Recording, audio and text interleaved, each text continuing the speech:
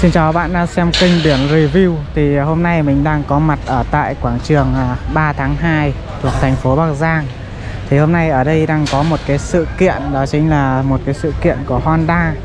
Thì à, bây giờ cũng đang vào tầm tối rồi. À, Đến tối thì sẽ có sự kiện ca nhạc ở đây. Nhưng mà à, mình hôm nay đến đây thì à, ghé qua đây thì mình sẽ quay cho các bạn xem một số cái mẫu xe mới của Honda.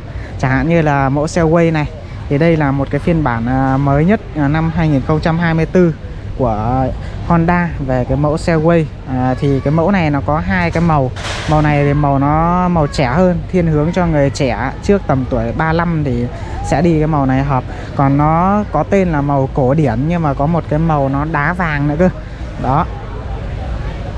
Cái màu này thì nó có cánh yếm trắng trắng nó không phải trắng sữa đâu nha các bạn. Và à, phần à, thân xe thì sẽ là có cái màu à, ghi xám. Đó. Cái màu này mình thấy cũng là đẹp này. Nhưng mà nếu mà theo như phương diện mình thì đang là một người trẻ nên là mình sẽ thích cái màu này hơn. Còn có một cái màu nó thiên về màu trắng sữa ấy, thì mình à, thấy không hợp với mình. Nó hợp cho người à, trên tuổi 35 ấy. Đó ở đây thì cũng sẽ có một cái mẫu xe quay của 2024 à, được à, đang được đặt ở đây.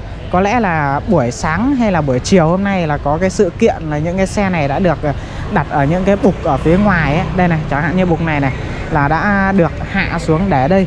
Thì ở đây là đang có một cái xe Way à, cũng là bản thường thôi.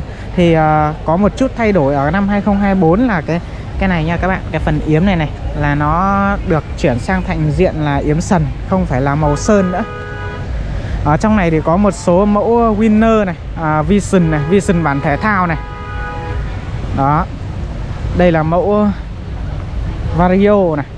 À, Vario này màu xanh uh, xanh nhám bản này cũng là bản thể thao này các bạn. Vâng. À, thì đi cùng với cái bản này mình thấy là có một bản màu đen nhám bản đặc biệt nha các bạn. Còn đây là bản màu xanh xanh nhám. À, bản này bản thể thao ở đây thì à, có một số mẫu xe cũng được rong từ những cái bệ kia vào đây rồi Thì à, đây là Vision bản thể thao này các bạn. Đó. Anh ơi À, thì uh, bây giờ thì cũng là, là kết thúc buổi sự kiện rồi Nên là các bên uh, tổ chức chương trình đang cho xe về tại hãng rồi. À, Đây là con Avalet Mình cũng vừa mới mua một con này à, Giá hiện tại đang là 4, 42 ờ, triệu 9 Ở cái hit mà mình đã mua ấy. À, Vế trong này thì có một à, bản Winner màu đen bạc này. Đó Đây là Winner màu à, đen bóng. À, Hôm nay thì mình à, do lên đây cũng hơi muộn Và cái thời gian này thì cũng kết thúc sự kiện rồi. Đây thì có một con CBR khá là đẹp màu đen đen nhám còn đây màu đỏ nha các bạn. Toàn là xe mới luôn. Trong này thì có SH Mod bản thể thao nha các bạn, màu xi măng.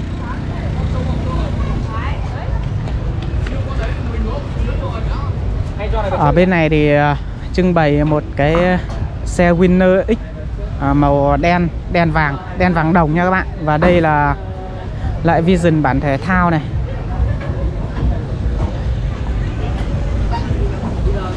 Ok các bạn thì uh, vừa xong ấy mình quay cũng uh, muộn giờ rồi ấy, nên là bây giờ là cái sự kiện này cũng kết thúc rồi. À, Tối nay thì hình như là trên này có một cái sự kiện âm nhạc nữa ấy, thì mình uh, thử đi lên trên này thôi.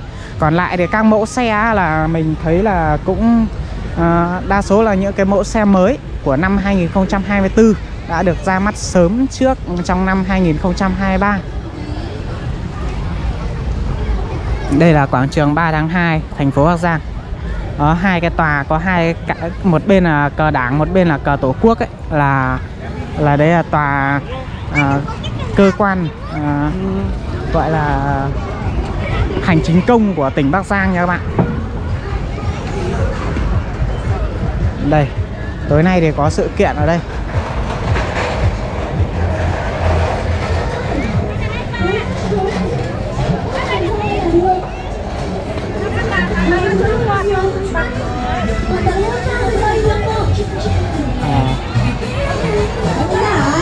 À, nói chung là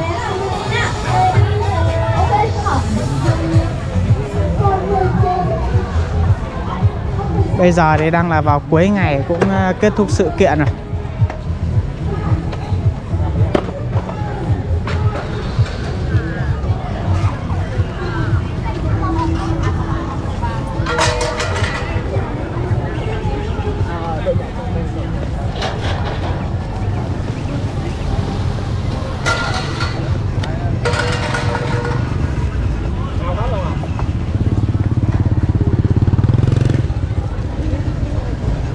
Hôm nay thì mình uh, cập nhật được cái sự kiện này hơi muộn do là hôm nay mình cũng mắc công việc cụ thể thì là đi ăn cưới đâm ra là uh, không không ghé qua được sớm ấy đến bây giờ thì mới mới ghé qua.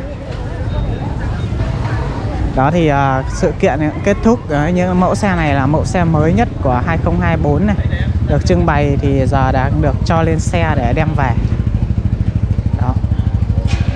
À và cuốn đứng trước, cuốn đứng trước. Cuốn này, cuốn này đây, cuốn này.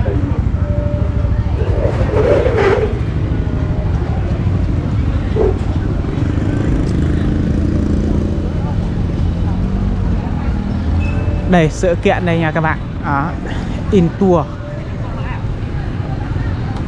À, thì à, video của mình đến đây là kết thúc. Cảm ơn các bạn đã xem cái video này. Xem lại subscribe kênh cho mình nhé. Xin chào các bạn